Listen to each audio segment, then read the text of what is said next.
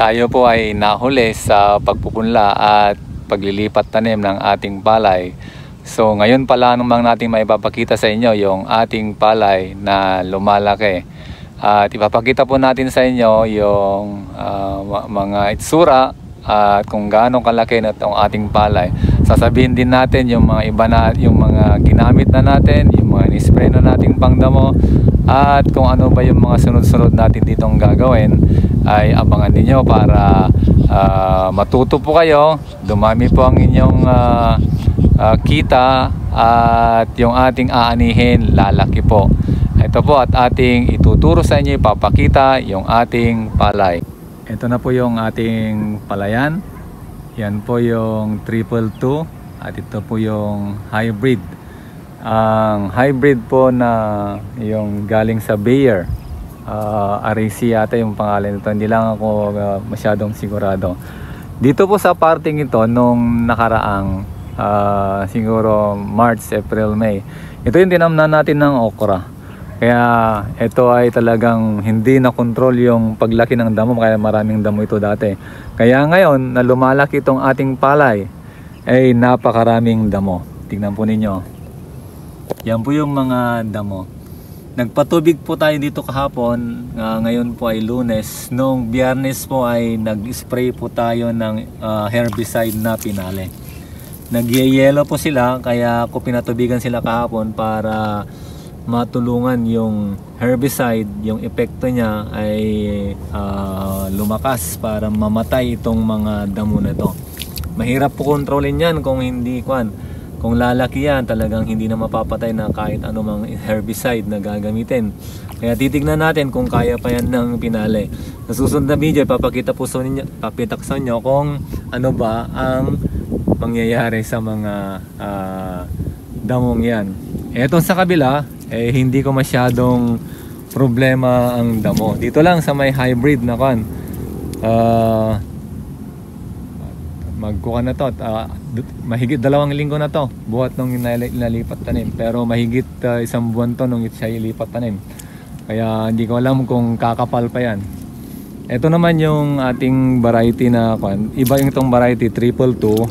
Malinis po siya dahil ito yung ah, pinagmaysan natin. Dito tayo umanin yung, yung huli. Dito natin inani yung 3 tons na mahigit. Ah, 3,000 square meter po ito. Mas malinis po ito dahil it, nung tinamnan ko ito ng mais, ah, tatlong beses ko ito kwan, inisprehan ng pamatay damo.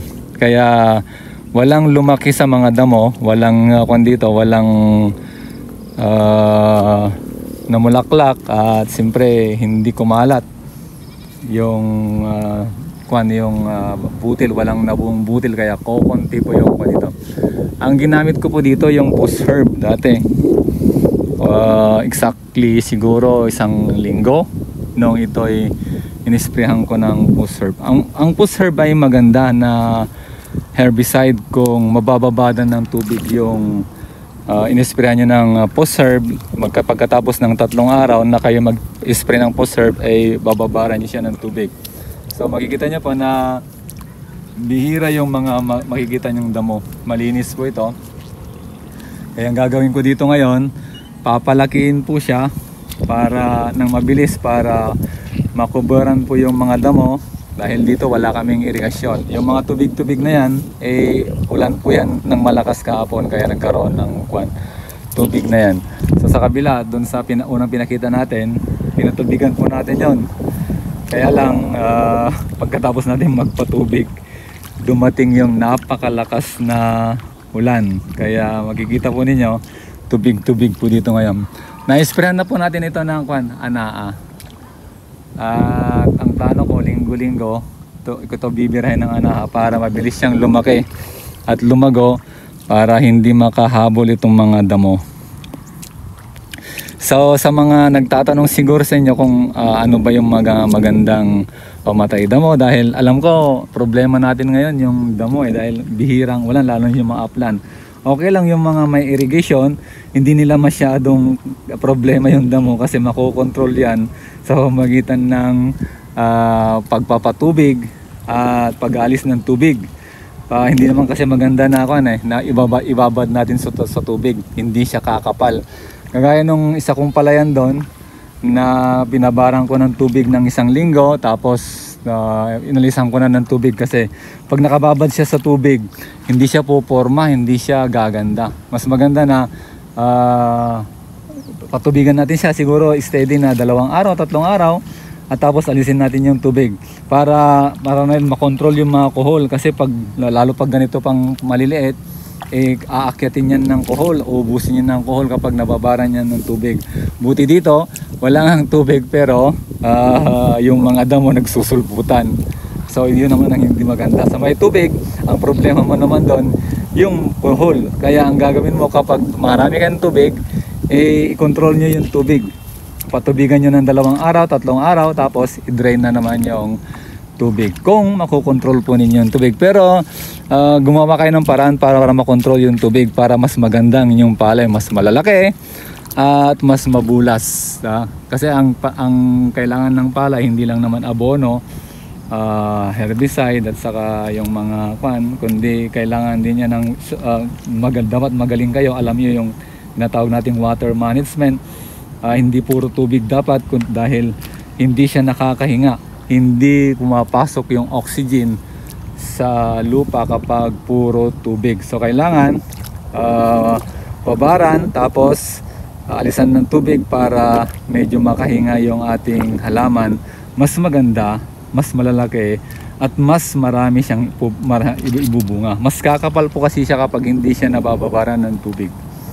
Kaya kung kayo yung mga tanong uh, tungkol sa farming, tungkol sa uh, lalo-lalo tungkol sa pag-aalaga ng palay, wini-welcome po natin. At salamat po sa mga kwan, mga nag-join sa ating channel. Uh, marami po tayong natutulungan sa inyong pag-join kasi yung pong ating kinikita dito ay eh, dinodonate po natin.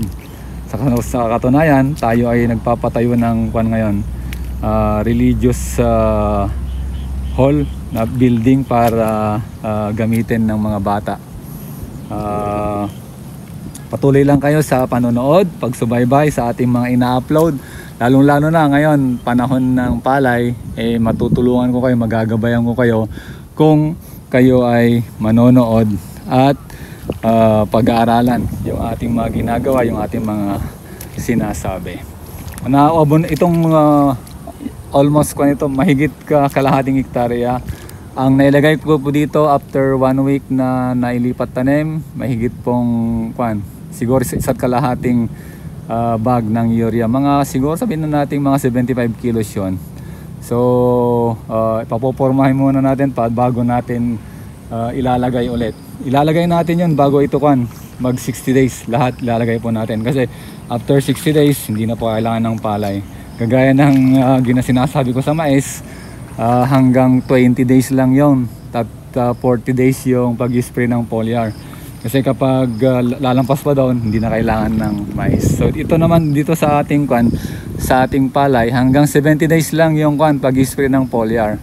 Uh, lampas doon, hindi na magagamit o hindi na kailangan ng palay. So Itong mga stage na ito, dapat mag-abono tayo, maglagay tayo ng foliar fertilizer para may kwan, pampagana sa pagkain ng abono ng ating palay o halaman.